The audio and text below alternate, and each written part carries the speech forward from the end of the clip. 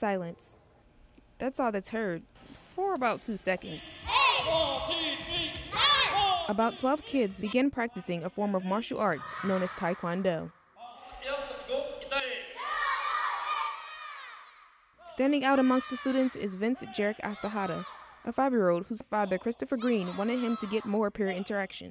I signed him up because martial arts is something I've always wished my parents got me in, for one, but for two, since he's uh, homeschooled, I really wanted to get him out with kids and get him active.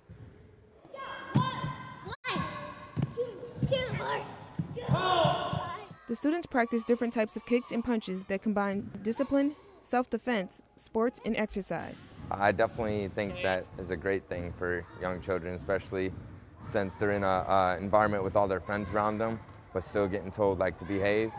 I think it's good to teach them like they can't just do their own thing in public.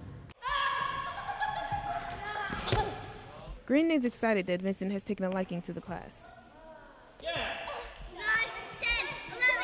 It made me pretty happy because the first day he was like telling his mom before we even got there the first day like he doesn't want to do it and I'm like well he's gonna try and then after the first day he like fell in love with it and he's like this is awesome. Specialist Jordean Matthews, Camp Casey, Korea. Make game. Pay attention.